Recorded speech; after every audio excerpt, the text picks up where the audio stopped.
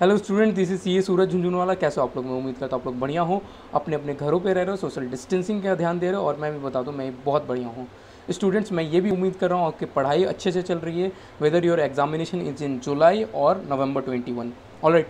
अगर जुलाई में है तो आपकी एग्जामिनेशन सी ए इंटर और फाइनल की फिफ्थ ऑफ़ जुलाई से स्टार्ट हो रही है और for foundation it is from twenty fourth of July तो अभी तक बच्चे फॉर जुलाई स्टूडेंट्स एक बहुत ही बड़ा कन्फ्यूज़न था कि उनको ऑप्ट आउट फैसिलिटी मिलेगा, नहीं मिलेगा गिवन द पैंडमिक सिचुएशन तो आई ने एक नोटिफिकेशन रिलीज़ किया है as on today that is twenty of June जहाँ पे उन्होंने ऑप्ट आउट फैसिलिटी को अलाउ कर दिया है। अलाउ तो कर दिया बट आपको इसके साथ साथ बहुत सारे पॉइंट्स उस नोटिफिकेशन में इंक्लूडेड है which you should you should know alright तो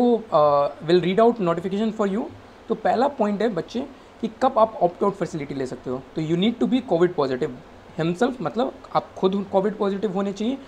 और your family members family members में जैसे कि आपके ग्रैंड पेरेंट्स आ सकते हैं, आपके पेरेंट्स आ सकते हैं, आपके स्पाउस आ सकते हैं चिल्ड्रेन ओके एंड सिबलिंग्स वगैरह, अगर कोविड पॉजिटिव है then you can avail the opt out facility alright opt out facility आपको एक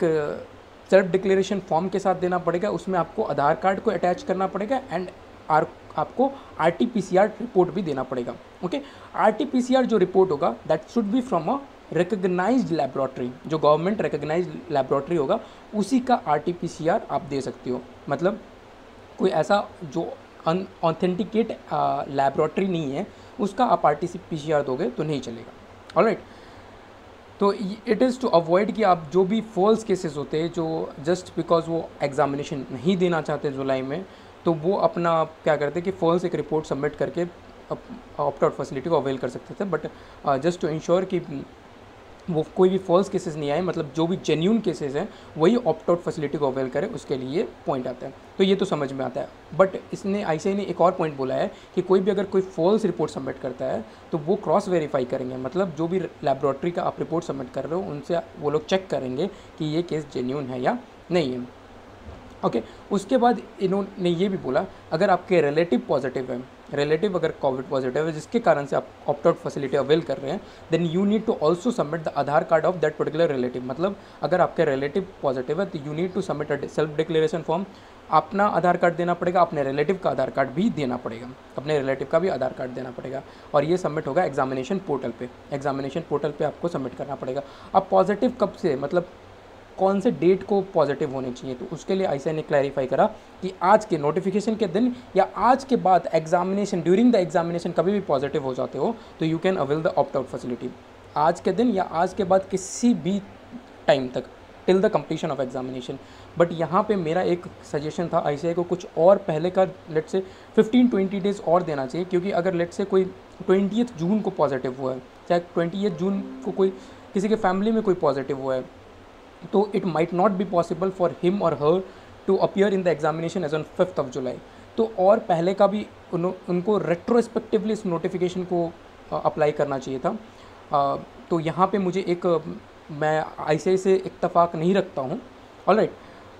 बट ठीक है अब जो है वो यही है कि आपको जो डेट देखना है फॉर पॉजिटिव आज का या आज के बाद। और इसमें और भी चीज़ क्लैरिफाई कर रहा है। अगर ऑप्ट आउट फैसिलिटी लेते हो तो आपके एग्जाम्सन्स कैरी फॉरवर्ड हो जाएँगे। और जिन भी स्टूडेंट्स का ओल्ड सिलेबस में ये लास्ट अटैम्प्ट था और वो अप आउट फैसिलिटी अवेल कर लेते हैं तो उनका ओल्ड सिलेबस का ड्यू डेट भी नवंबर में कैरी फॉरवर्ड हो जाएगा। मगर जिस स्टूडेंट ने ऑप्ट आउट फैसिलिटी अवेल नहीं कर पाए,